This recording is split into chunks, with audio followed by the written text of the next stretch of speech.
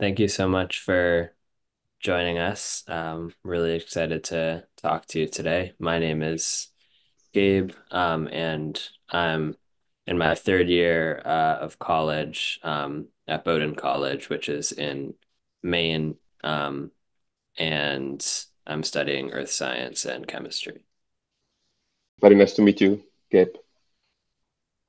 Hello, my name is Marie. I am a senior at Columbia University where I'm studying computer science, and I'm really excited to talk to you today.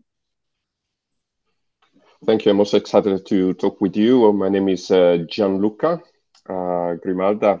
I used to be an employer of the Kiel Institute for the World Economy, but as you might have heard, I've been fired because of my refusal to come back from a fieldwork in Papua New Guinea by plane. So that was a rather hard uh, decision or maybe an easy decision to make, but with the heavy consequences. So I was uh, here in uh, in a small island in the middle of the Pacific Ocean called Bougainville. Bougainville is a part of the Solomon Island archipelago, but it's uh, under the administration at the moment of Papua New Guinea. And, and this is where I, I live. If you can see my my pointer, I, I live in northern Germany. So um, traveling by plane uh, would have emitted about five tons of uh, CO2. Uh, and just to give you an idea, five tons of CO2 is the, it's more than uh, what the average citizen in the world emits in one year. So it's quite a lot of um, emissions. The main reason why I do it is it's really to uh, reduce my uh, emissions, but I must say that it's also a great experience from the human point of view because uh, you get to know a lot of people uh, who otherwise you would never meet. And what I have learned is that uh, in every place there is always a somebody who is going to help you. And uh, yeah, that ma- makes me feel really that I, I, can be at home more or less in every place uh, of the world in which I am.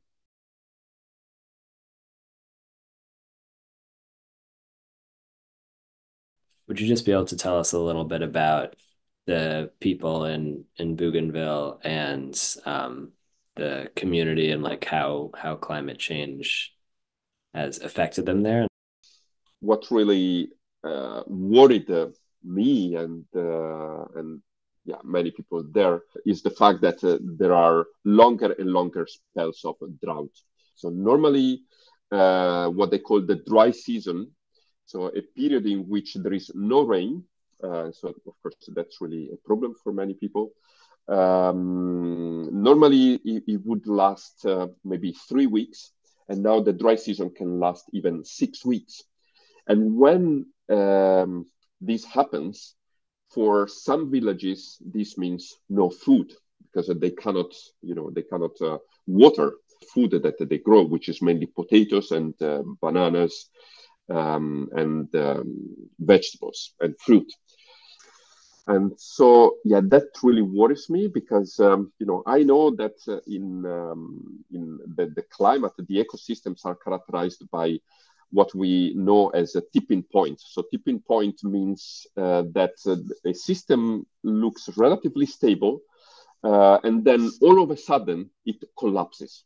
And uh, when temperature exceeds some thresholds, the system really uh, is irreversibly lost and there is nothing that uh, you can do to get it back. So I'm really, really worried that as temperatures increase even more and even faster uh, than what they have done so far, uh, many of these villages will really suffer uh, more of um,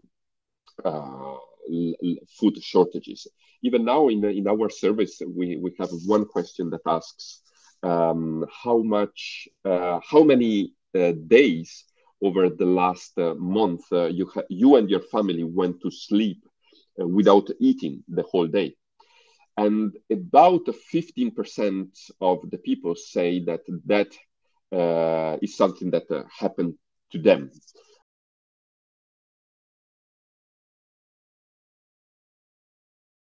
One presentation that I made with the school, I think I, I gave presentations more or less in a maybe about 10 schools. Um, so they they do talk about climate change. So they do have uh, climate change in their curriculum, but only at the uh, sixth year of their education. Uh, I also showed, uh, I think this is probably the the really the hardest to take picture of all. Uh, this is uh, from a study published in PNAS, one of the most prestigious scientific journals, in which they show which areas might become uninhabitable by 2070. Of course, this, uh, I would say this is the worst case scenario, but there is a possibility, a non-negligible possibility that the areas that are marked in black here uh, will become completely uninhabitable. So the, basically most areas uh, close to the equator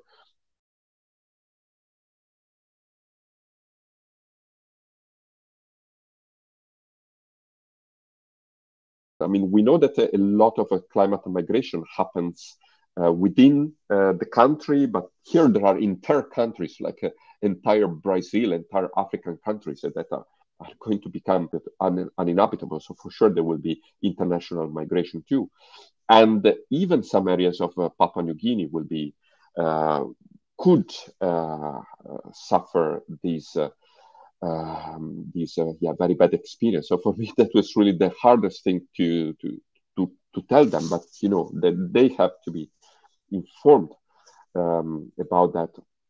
I I also wanted to show them the uh, the big big inequality that exists in the world about emissions, and that this is a, a graph taken from Oxfam. You know, Oxfam has been very active in uh, computing the yeah the, the, the share of emissions uh, that uh, people do according to their wealth level. And uh, i mean the, the results are really stunning. So about 50% uh, the the 10% of the people who is the richest in the world emits 50% of emissions.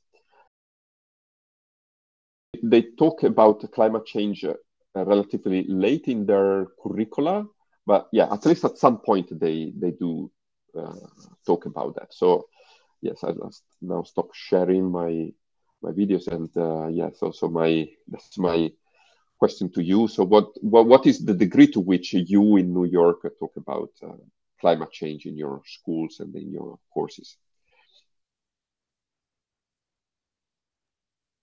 Um, so yeah, I would say that um well, where I went to high school in New York, um, we had one teacher who like uh, a physics teacher who incorporated climate change into um, some lessons and I think is now teaching an elective, um, not a required course, but an elective on um, climate science. Um, and even when when last year um, my brother was in high school and he went to the same high school I did when there was uh, the wildfires in Canada and the you know school was remote for a couple of days in New York because of the smoke. Um, none of the teachers mentioned like the school cancellation. Um,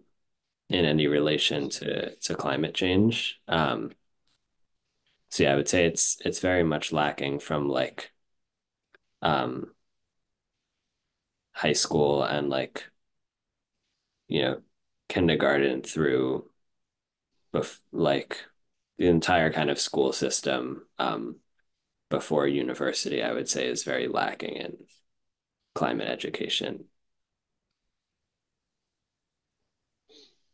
yeah yeah that's unfortunate yeah what, what about you mary I didn't go to school in New York. I went to school in Wisconsin. And everything that I learned about climate change going into college, I learned from my friends. I learned from like social media. I learned from like doing basically my own research, watching YouTube videos. None of the classes that I took in high school I don't remember them mentioning climate change unless the students specifically brought it up in maybe like a chemistry class or a biology class. Yeah.